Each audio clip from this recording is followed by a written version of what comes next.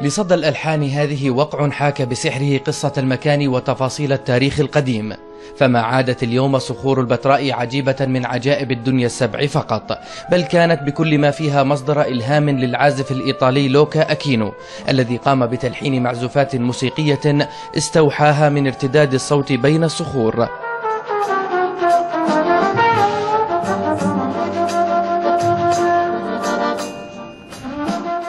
فعزفت الطبيعة لحنا في مشهد فني وتاريخي برعاية إرث عربي نبطي هو البتراء.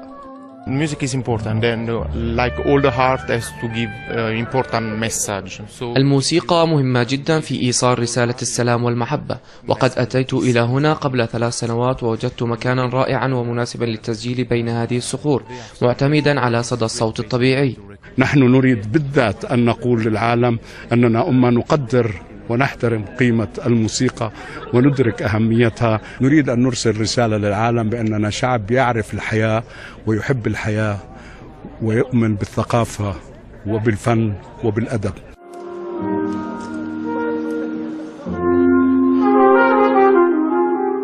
تجربة فنية فريدة في ألبوم البتراء بتقنية صدى الصوت الطبيعي بين صخور المدينة الوردية في موسيقى الجاز. ليذهب الجمهور مع كل لحن إلى جديد الفن تارة وإلى تاريخ المكان القديم تارة أخرى.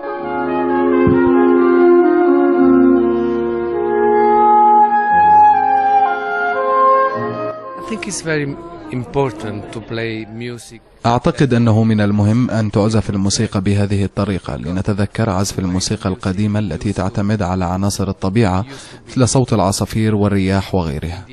لمسة كثير كثير كثير حلوة لأنه جمال البتراء جمال روحاني بخاطب الجمال الموسيقي اللي هو بخاطب الروح كمان. غياب شمس البتراء أضفى بريقا على تفاصيل المكان الذي انبعثت من كل زواياه موسيقى الجاز. وسط حضور عربي وأجنبي جمعه الفن بلغة خير من نطق فيها اليوم حجارة قديمة تركها الأنباط شاهدة على حضارة الشعوب في القدم. من مدينة البتراء عماد العضايلة العربية.